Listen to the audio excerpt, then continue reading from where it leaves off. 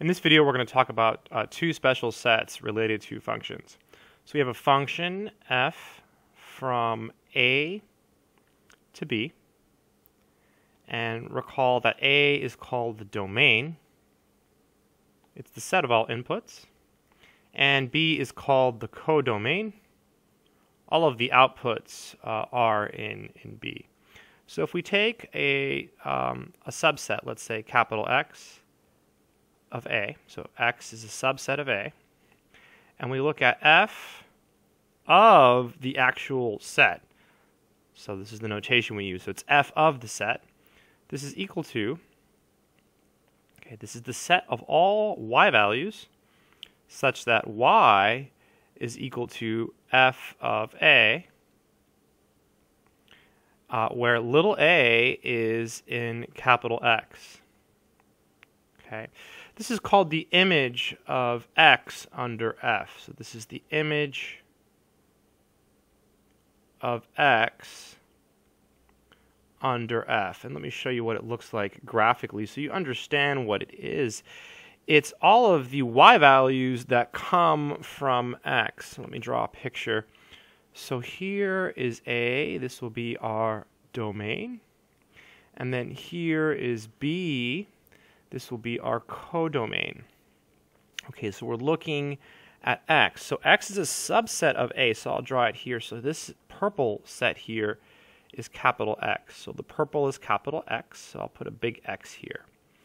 All right, so then we take an element uh, here, say a little a, and our function f sends it to an element here, which is f of a. This is the y value. So f of a right? This is y, lives somewhere. Where does it live? Well, it lives in B, and more precisely, it lives in this other purple set. Use the same color. This is f of capital X. So f of capital X is the set of all elements that come from big X.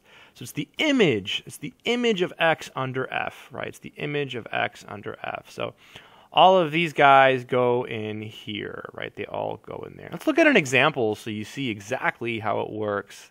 A really simple example, um, which could be useful. Let's define f from the set of real numbers to the set of um, real numbers. And let's define it by f of x. Let's see what we can do to make this somewhat interesting.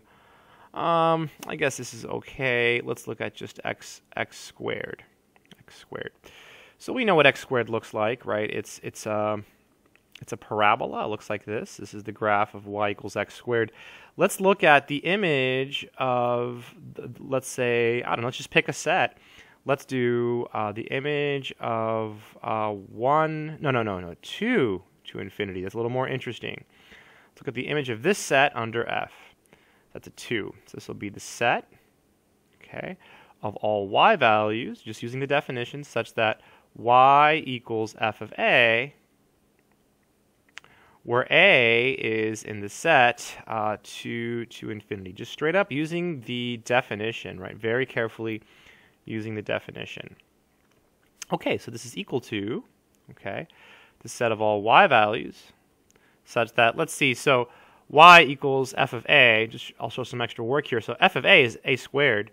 So it's just y equals um, a squared, a in the set uh, to infinity.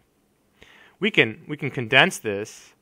Um, we're, say, we're saying y is such that y equals a squared. We can just say a squared, such that a is in the set uh, to infinity. So if you think about this, the smallest it can be is when a is 2, right? So it's going to be 4 and on. This should just be 4 to infinity, right? 4 to infinity, right? Because if a is 2, that's the smallest it can be. You'll get 4, right? Because 2 squared is equal to 4. So, so f takes uh, this set and sends it to this set, right? To that set. So if you draw a picture, let's draw a picture because it could be fun. Um, so this this is the set of real numbers here. This this green line. This is R, and um, and this is the other set of real numbers here. This is R.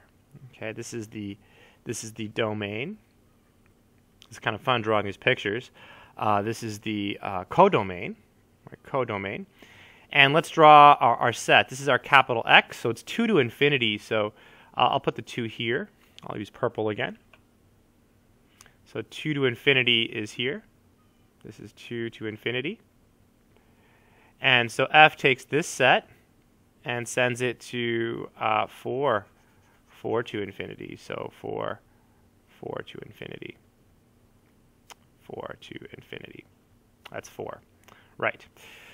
Um, so yeah, so so kind of a, a, cool thing. So the image of this set under f uh, is equal to this.